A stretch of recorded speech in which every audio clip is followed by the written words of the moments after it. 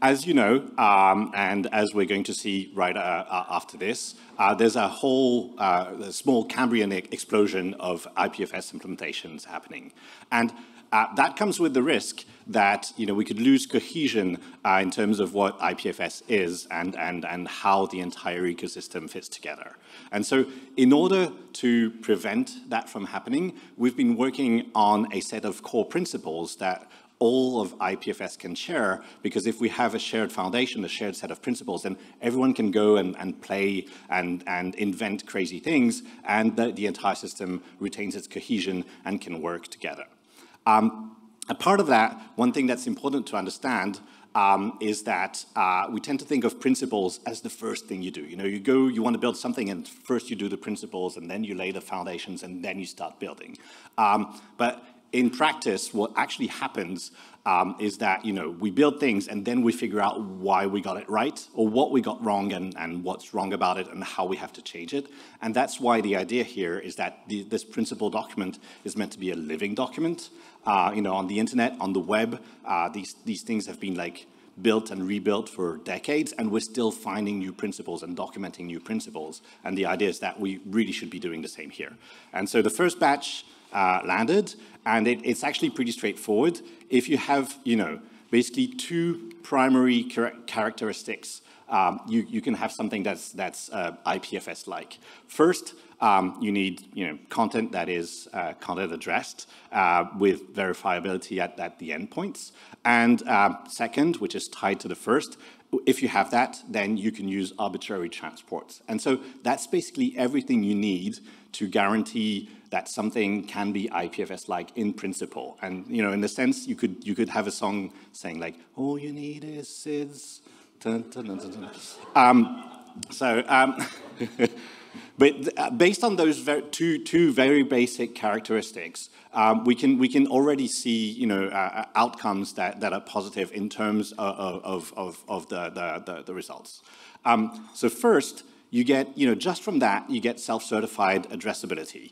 If you think of the way that address, addressing works on the web, we tend to always say, oh, but there's a problem because we delegate to, to DNS. But it's not just delegation to DNS. Authority is also delegated to the server itself. And that's actually how it was designed. The idea is that you go to DNS, DNS tells you where the server is, and then as a user, you are effectively on someone's property. And anything you get is something that they have validated for you, that they promise is what they're, they're supposed to be giving you, and that's all you can find out about it. The idea is that you know, this creates an, an, asymmetry of power between you as a user and the person running the server. Basically, everything becomes a benevolent dictatorship, or at least the best you can get is a benevolent dictatorship. It's always a dictatorship anyway. Um, with, you know, with self-certified addressability, you don't need to rely on anyone else's um, authority, you can just get it uh, and, and, verify it yourself. And this makes CIDs the trust model of IPFS. And the second um, you know, outcome of these very two basic uh, principles is that you get better robustness uh, from it. Uh, we've all heard this, this principle that you know, you're supposed to be liberal in what you accept and, and conservative in what you send when you're writing network protocols. And it sounds nice. It sounds like you know, the kind of person you want to be, like you're, you're open to anything that other people uh, might do, but you, you, you're careful about what, what, you, what you do yourself. Um, but in practice, you know, it turns out when you run that over decades and decades, it actually creates a big mess.